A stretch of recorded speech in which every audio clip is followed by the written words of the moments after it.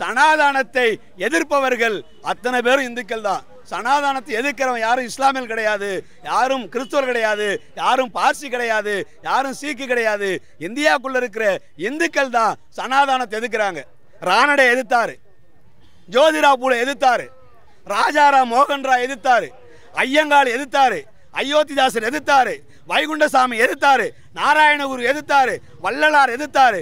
எதிர்த்தவர்கள் அத்தனை பேரும் இந்த நாட்டில் முற்போக்கு விழுமியங்களை பேசின மத மார்க்கத்தில் இருக்கக்கூடிய முற்போக்கான ஆட்கள் தான் எனவே சனாதானம் என்பது இந்தியாவில் இருக்கிற பெண்களுக்கு எதிரானது.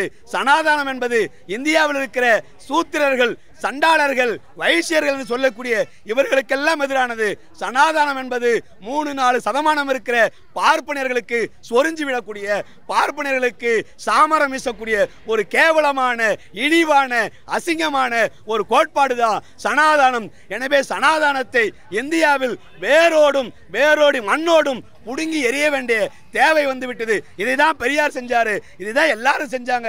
எனவே அதே அடிப்படையில் தமிழகத்தில் தென்னிந்தியாவில் சனாதானத்தை வேறு இருக்கிற வேலையை இந்தியா கூட்டணி மட்டுமல்ல மார்க்சிஸ்ட் கம்யூனிஸ்ட் கட்சியும் திராவிட முன்னேற்ற கழக தலைமையில் இருக்கிற இந்த அரசியல் அமைப்புகளும் நிச்சயமாக சனாதானத்தை தூக்கி வங்கக்கடலில் எரிவோம் என்பதை தெரிவித்து